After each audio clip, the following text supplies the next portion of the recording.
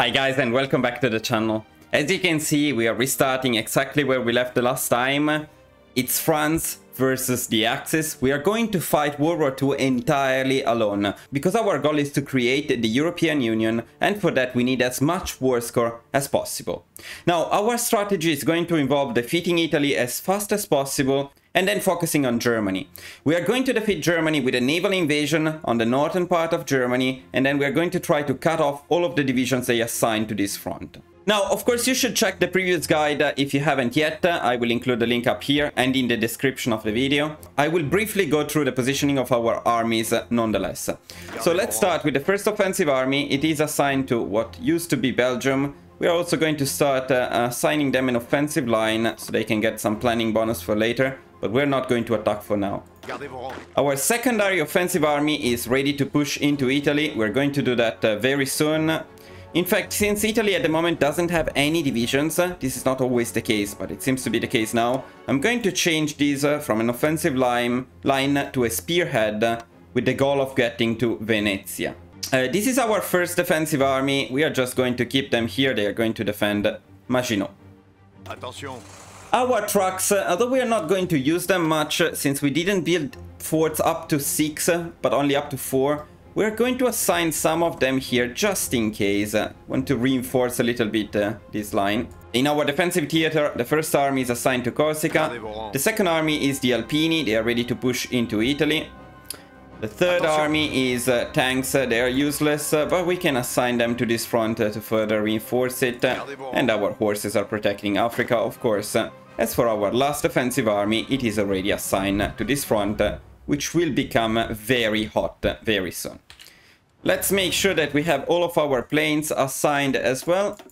It wasn't all of them. Let's make sure we have all of them assigned. Probably not even to the Alpine region. I think we may need them more in, uh, in the Italian region for our naval invasion, since they don't have divisions in here. Everything seems to be ready, so we can start uh, this war. And we are going to do it uh, by declaring war to Slovakia.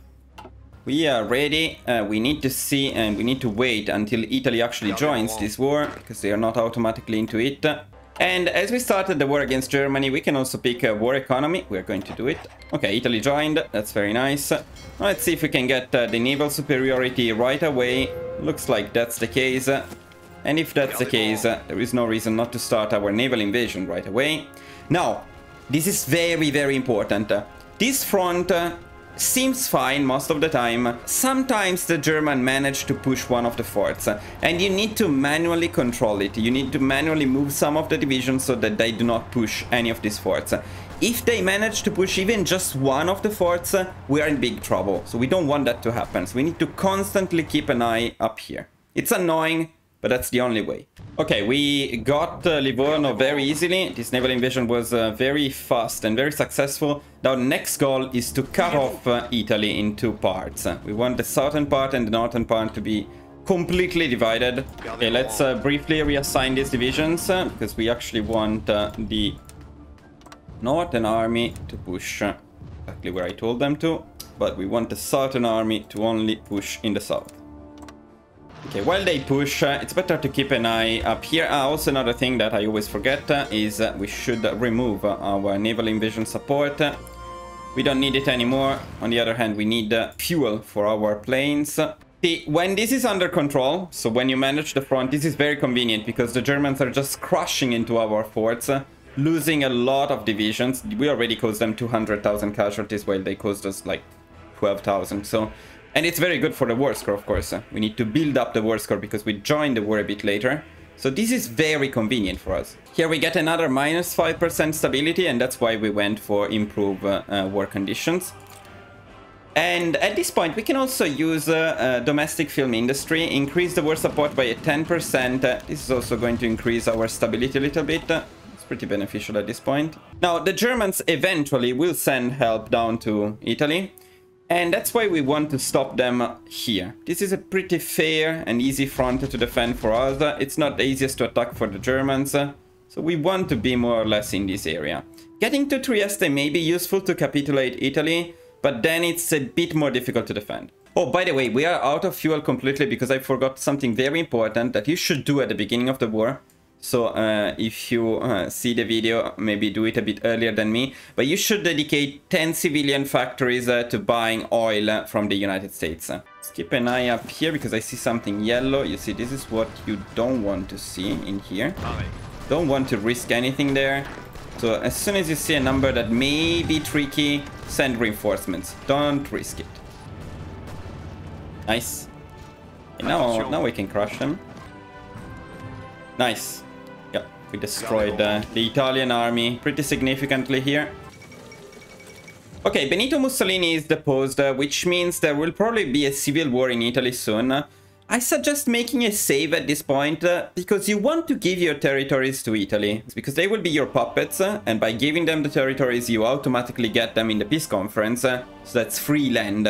You want that, but there is a bug, uh, which sometimes doesn't make that event appear, and sometimes it's impossible for some reason to give uh, land to your Italian puppet. So I suggest saving so you can reload in case anything goes wrong.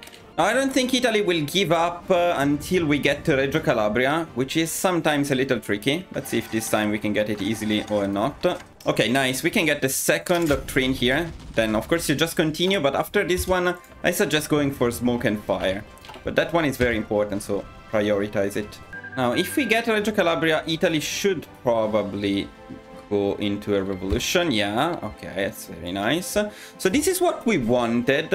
And as you can see now, this uh, Regno del Sud, Kingdom of the South, is our puppet. Now, the main thing is we want them to take all of the land we have, which usually happens through an event. Let's see if we get the event. Okay, this is the event we want. sometimes the game, the game is bugged and you don't get this event. You really want this event because you want to transfer them the territory. You want to give them everything. Okay, the main army that we freed, however, is this one. Now with this army, we want to prepare a naval invasion of Germany, so we're going to start sending them up here. At this point, we also want to start building military factories in Italy, and that's to decrease uh, their autonomy. So we can start building military factories uh, everywhere in Italy. We're going to finish ours first, uh, but then after that we can build more in their land. Okay, looks like the United Kingdom got Sardinia. That's a bit annoying. It would have been better to get it ourselves, uh, but that's fine at the same time, because the main thing it does is it frees our divisions here, our defensive divisions, uh, and we can start sending them up to the area of Venice, which means we also free our offensive army in here. We are going to need this army soon, so we can select it, and we can start assigning it to the border with Germany. Now this is a very difficult push, but a very important one. We want to use a spearhead uh, to try to get to Dortmund. The idea is with our naval invasion we'll arrive up here and we want to cut off uh, the Germans. Uh, we want to split them into two sides and then we want to completely destroy everything which is uh, in the Netherlands and Belgium. And we can start sending our planes up here, assign them to this region. So finally we'll get some air superiority in here or at least we'll fight the Germans for it. Of course, in addition to some nice war score from enemy planes destroyed. Now, we got the improved anti-tank, which is not particularly relevant, but what it is important for is uh, our new cast design. This is the design we are going to use, so we can save it, we can remove the old one, and we can start producing the new one. We also want to add uh, 15 military factories uh, to it and we are going to take them away from our fighters. Now the Germans are pushing a lot uh, and this is the moment uh, in the game in which we want to pay the most attention because we really don't want to lose uh, anything in here. Yeah, Italy is not doing much with their division, so maybe what we could do is we could request uh, their forces and we can manage them ourselves. This is actually a good idea. Now, the only thing we want to use their divisions for is defending this front. We don't care about anything else. The Germans are impressive, I must say, despite the fact that we have absolutely the air superiority, we have a lot of divisions, we have the forts, uh, and they still almost push. But at what cost, I would say, because they lost 700,000 men in here. That's, that's a lot. Okay, let's start planning our naval invasion of Germany now. We are going to do it from uh, Dunkirk, and we're going to do it in this area of Germany. Also, one thing which is very important, but I forgot, is to assign our spy to Germany. If you remember, do it a bit faster.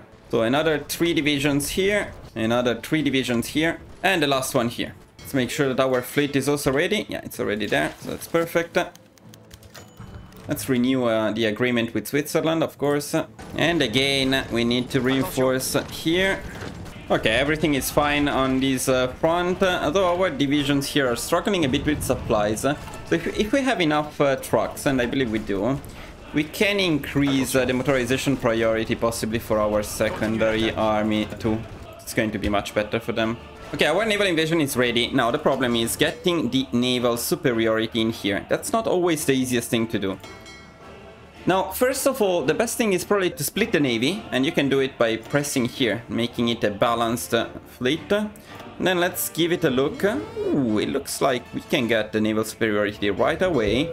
Now, when this is not the case, you can just leave them on naval superiority for a bit, uh, or you can assign them to patrol in this area, and you can send your planes uh, to get the air superiority as well. And eventually you get uh, the naval superiority in here. It's not too difficult. We can start the naval invasion. Now this is an important moment, so I would suggest uh, saving the game. This naval invasion will determine uh, a big part, a big chunk of this war. And let's go. Now, we may want to temporarily assign our planes uh, to this area of Germany because we want this naval invasion to succeed at all costs.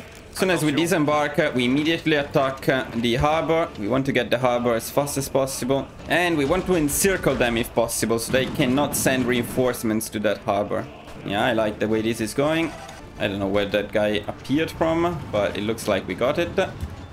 We got it. Very nice. Very important. Now we can reassign this army here. And we can start planning an offensive, which will be something of this kind.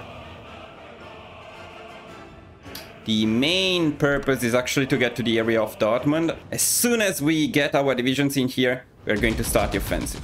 Now, at this point, uh, we have enough political power and it may be time to switch from army defense to army offense, because from now on, we are going to be mostly on the offensive. We're going to use a staff office plan uh, because we want them to attack as soon as possible. Okay, let's stop uh, our naval support uh, for the invasion right now. But at the same time, we're going to start this offensive. We need the fighters to protect all areas, but this is the main one for now, because we're going to start the northern offensive first. Let's see how it goes. It's looking alright for now. This is going to be an extremely painful offensive, but at this point, we want to assign all of the traits we can assign. Let's give him an uh, organization first. Let's give him uh, infantry expert and suppressive barrage. We actually want to start attacking in all directions, especially down here. So we're going to reassign our planes. Going to keep a few fighters up there. Going to keep a few fighters on this area. And then we're going to start all of our offensives at once. Now this is going to be very painful, but trust me, it will work in the end. So we're going to start an attack with them, and we're going to start an offensive with them. We need the Germans to be under pressure everywhere, because that's how you break them. We'll see our manpower going down very quickly now, but if needed, we are going to take extensive conscription next. Now, this is a difficult push. We are struggling a lot in the south. Don't worry, this is normal. The idea is that we keep uh, these units busy, so our invasion divisions can actually push up here. We got Dortmund, that's nice. Uh, the only issue is that from the south we are not advancing at all at the moment. Now it would be really the time to push, because if we can get this encirclement, uh, things are going to be much easier for us. Very tough, they have a lot of divisions in here. At this point, we don't need the trucks here anymore. We can send them up here, try to protect this front with the trucks. Our manpower is now dangerously low. This often happens when you start the offensive in the south, so we're going to switch from li limited conscription to extensive conscription. And we are not going to have to worry about manpower anymore.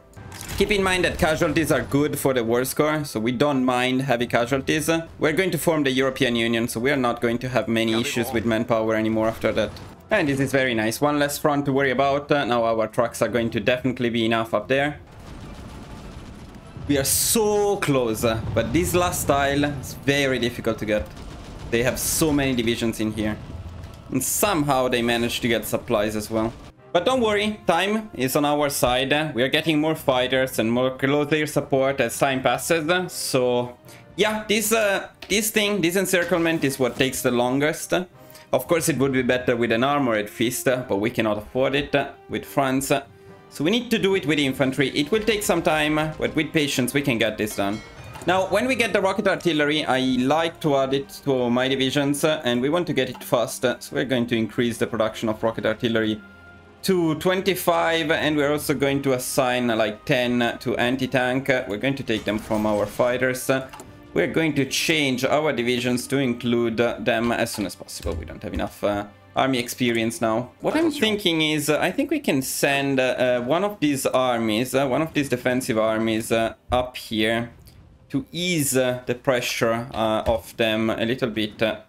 That may actually be beneficial, so we can push down a bit more. Okay, now that our defensive army is up here, we can reassign this army a little bit and focus on the front that we actually care about, which is the southern front.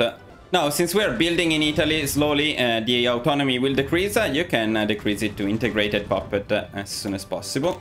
I think it's time to start putting some pressure on the Germans again. Uh, we have some planning bonus at least here. So I will start again all of the offensives uh, and I will also use uh, the fleet this time. Uh, see if it helps uh, on the on the cost at least. Let's see how it goes. I see some green numbers. That's pretty good. I also see some very bad red numbers in here. And now they are starting to struggle for supplies. Uh, that's very important. I think we're finally breaking them. Yeah, boys. It's getting closer. And now they are in big trouble because this is a huge encirclement that we got right here. Now, when you get enough political power, you can get uh, either tactical bombing, it's very good, air superiority, depending on the phase of the war. I think right now we have the air superiority, so I will get tactical bombing. Now we better focus all of our planes in here and just destroy them. Now this is satisfying to see, because this was a very, very tough fight. It took a while to get this encirclement. I must say Germany was particularly strong in this run. Uh, Timing-wise, we're good, uh, because we started the war a bit earlier than usual. But this encirclement is usually a little bit easier to get. Anyway, just be patient. Uh, remember that time is on your side. Uh, if you don't get it right away, you will get it a little bit later. But you will get it and look at the amount of divisions they are losing in here. This is insane. The casualties are already up to 3 million. Yeah, we got good casualties too, not denying that. But this is massive. After this, we are going to have to rearrange our armies a little bit, but that's done. And 3.4 million casualties for the Germans.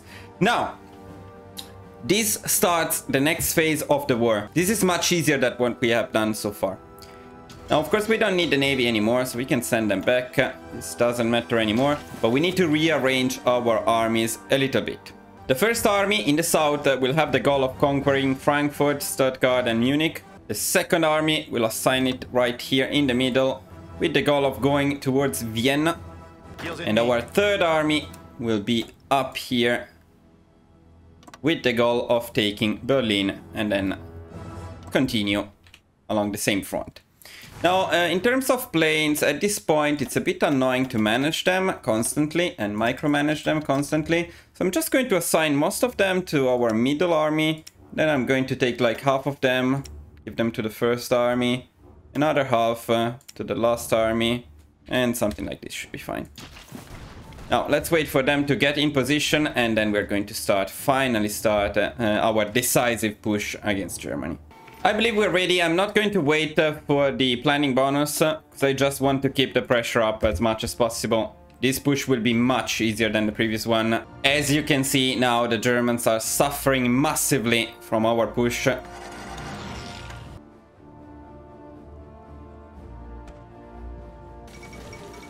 Berlin is down. After the main encirclement here, they no longer have the divisions to fight us. So the war is very tough at first, uh, but once you get that done, uh, it's a piece of cake. Now, to end the war, you need to get both uh, Stuttgart, Munich and Vienna. We're getting closer to the first of our goals in here. Struggling a bit more for Stuttgart, but oh, but we got a very nice encirclement here. So more Germans uh, divisions being destroyed. Yeah, we're actually pushing a bit more than uh, we want to, so I'm going to reassign this army. We don't want them to push up here. I do want uh, the uh, defensive army to protect this front and not let them take anything back. But what we need to push really uh, here is actually the southern part, so let's go there. Especially Vienna. They have a lot of divisions encircled in here. Sadly, they have forts, so despite being encircled, it's still difficult to kill them. This is a massacre. Now, at this point, it seems obvious that we are going to win the war. So start getting political power because we'll need it uh, to annex Italy after the war. Well, looks like we're already pushing for Vienna. And at this point, I think we can start rushing a little bit uh, for the last remaining victory points. Uh, Munich and Vienna. We got Vienna. As soon as we get Munich, the war should end. Let's uh, give it a look. But yeah, I think Munich will end the war. I will actually save the game. And uh, let's give a last look uh, to the stats. Uh, we destroyed the German Reich. We caused them uh, 3.7 million casualties. we are close to 1 million ourselves. Not bad at all. But the main point is uh, we got 75% of the total war participation. This is extremely high and it will guarantee that we get everything we need uh, at the end of the war in the peace conference. Now let's get to this peace conference then. Oh, they're actually defending Munich a bit more, but not anymore. The war is officially over and look at this, actually we finished with 80% uh, of the war score. So we have enough points uh, for everything we need. I will briefly show you what we need. I will also show you why we didn't uh, annex or we didn't keep the territories in the uh, Regno del Sud, in the Kingdom of Italy, and that is because this is now our puppet. We don't need to claim this territory in the peace conference, and by doing that we can save some extra points. About the peace conference, I will just go through the most important points. Prioritize taking the parts of Italy, including these ones, uh, that are not yours yet, because the UK tends to keep them, uh, or to want them. You may need to fight the UK for them. Then I will show you what you need uh, to reform the European Union. Okay, now what I got now is what you need uh, for the European Union. So basically you need all of Germany except for Austria, Tyrol and this other place and what used to be Czechoslovakia, where you can see Bohemia and so on. So this is what you need to annex to create the European Union. Everything else I suggest puppeting, but then I would also prioritize some of the very resource-rich regions like this one in Hungary, like this one in Romania, so try to get uh, as much value as possible out of the resources. There are also a couple of ones for the Netherlands. Yeah, the UK wants this one, but I want it too. You should also probably take the navies, uh, especially the Italian one can be pretty good. So if you have extra points, uh, use them for the navy. Other than that, uh, resource rights, war reparations, and you're good to go. And this is what we got. Uh, you can see the map uh, being mostly blue, the color of France, indeed. Now, we want to annex Italy, and for that uh, we are going to need just a little bit more political power. Do not worry about the points, because we are going to fix them by sending them convoys. This is my amazing strategy to quickly annex puppets. We're just going to send them all of our convoys and we're going to get them back uh, right after we annex them. And of course, uh, the message we just got that means we can annex uh, Italy. Let's do it. And with Italy annexed, we can finally realize European unity. This is our decision. It is only June 1941, so this was actually pretty amazing. We were quite fast at finishing this war. Let's realize our European unity. And there we go. Here is the European Union we recreated it with France by fighting World War II alone. Now, of course, we struggle a bit in terms of manpower, but manpower and factories are not going to be an issue anymore. Let's actually check how quickly they change. 200, 1 million. And that's already 2 million 400. So basically we double them right away. Okay guys, this should be the end of this guide. Uh, of course, uh, the European Union is extremely strong. As a democracy, I believe it's a bit harder to continue expanding, but of course there are still challenges left in the game. You could be fighting the uh, UK, you could be fighting the Soviet Union. I don't think I will be continuing this run, however, unless uh, you're all very interested in it. So guys, thank you for watching this video. As usual for countries guides, uh, a lot of work goes into these uh, many test runs, several hours spent uh, checking all of the details. and as you can see, of course, there is a little bit of RNG. Uh, the invasions can go a bit better. They can be a bit more tough. Today we struggle a bit uh, to get the encirclement. I usually get that uh, a little bit faster. But yeah, a lot of work went into this, so I would really appreciate it if you could, you know, leave a like, leave a comment, and subscribe to the channel. That really helps uh, uh, with the growth of the channel. So that's why I'm, uh, I'm asking.